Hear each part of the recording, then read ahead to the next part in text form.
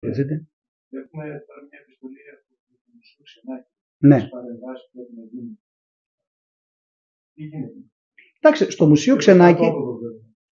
στο Μουσείο Ξενάκη ε, η αλήθεια είναι ότι μέχρι και το, τον Μάιο τη διαχείριση την είχε η Κεδής η κυρία Παλάζη σαν ε, πρόεδρος τε- της Κεδής. Ε, υπήρχε μια, ε, υπήρχαν πράγματα τα οποία έγιναν και υπήρχαν πράγματα τα οποία δεν έγιναν. Προφανώς.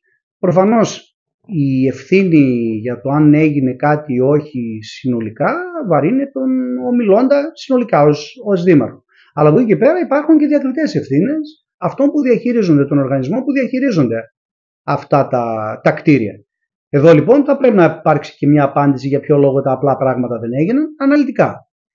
Ε, είμαστε σε, σε εξέλιξη πολλά πράγματα να γίνουν, ειδικά για τη γεωθερμία τώρα έχουμε τον, ε, ήδη τον, αυτόν που έκανε τη γεωθερμία είμαστε σε επαφή ούτως ώστε να το, να το προχωρήσει για το σύστημα θέρμα το οποίο υπήρχε, λειτουργήσε κανονικά λειτουργούσε κανονικά πέρασε η- και η- το διάστημα της, της, ε, του, της εγγύησης να το πω έτσι ε, και τώρα παρουσιάστηκαν κάποια προβλήματα. Σε αυτό το κομμάτι είμαστε τώρα ούτως ώστε να αναθέσουμε πάλι σε, στον συγκεκριμένο αυτό ε, άνθρωπο που έκανε την εργασία να το παρακολουθήσει και να το συντηρεί.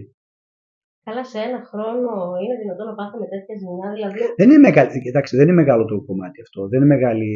και πάλι όμως Μεγάλο. είναι καινούργιο, είναι ένας χρόνος. Ε, το έργο αυτό παραλήφθηκε από την τεχνική υπηρεσία κανονικά. Παραλήφθηκε. Από την τεχνική υπηρεσία κανονικά. Το έργο λειτουργήσε για ένα χρονικό διάστημα που προβλέπει η συμβατική υποχρέωση του αναδόχου.